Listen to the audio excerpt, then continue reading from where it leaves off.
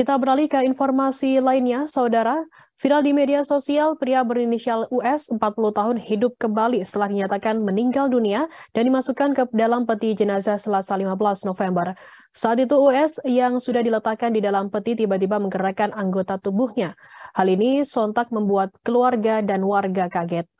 Peristiwa tersebut terjadi di perumahan Ambar Telaga Residence 2, Kecamatan Ranca Bungur, Kabupaten Bogor, Jawa Barat pada Jumat 11 November lalu.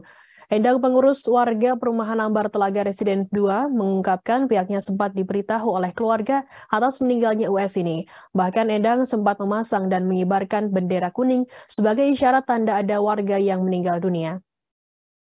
Pihak keluarga US kemudian mengonfirmasi untuk segera memasang tenda karena akan dilakukan upacara pemakaman.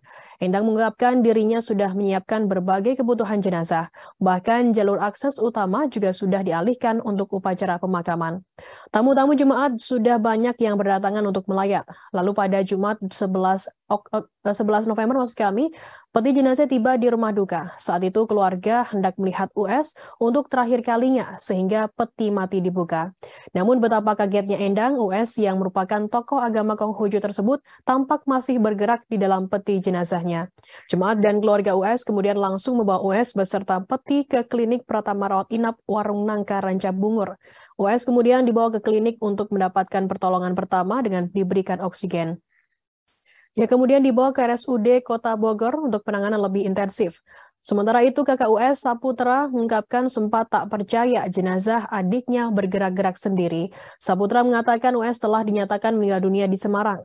Kemudian jenazah dibawa dari Semarang ke rumah sakit di Jakarta. Setelah dinyatakan bernafas kembali, keluarga mengaku senang dan tidak menyangka kejadian ini terjadi pada US.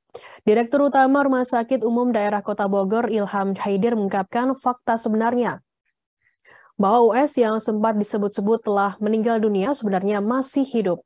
Hal itu dinyatakan, dikatakan pihak rumah sakit lantaran US saat US datang ke RSUD kondisinya sadar dan belum meninggal dunia. Ilham mengatakan US dibawa ke rumah sakit dalam keadaan penurunan kesadaran, yang menegaskan kabar mayat hidup lagi di Bogor adalah kabar tidak benar.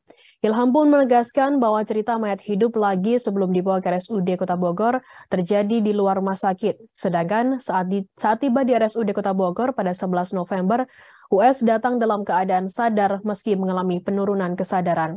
Ilham pun mengatakan bahwa US mengalami gangguan di otaknya. Saat ini US ditangani pihak rumah sakit dan dirawat secara intensif. Ditegaskan RSUD cerita US hidup lagi usai meninggal dunia hanyalah bumbu semata. Sementara itu, Kapolres Bogor AKBP Iman Imanuddin mengatak, mengungkap fakta terkait jenazah yang hidup kembali ini. KBP Iman menjelaskan sejak awal yang bersangkutan dilakukan pemeriksaan awal hingga peti matinya dibuka korban dalam keadaan hidup. Iman mengungkapkan belum ada fakta yang membuktikan bahwa yang bersangkutan sempat meninggal dunia sebelum hidup kembali. Bahkan pihak keluarga belum bisa menunjukkan surat kematian dari US. Terima kasih sudah nonton. Jangan lupa like, subscribe, dan share ya.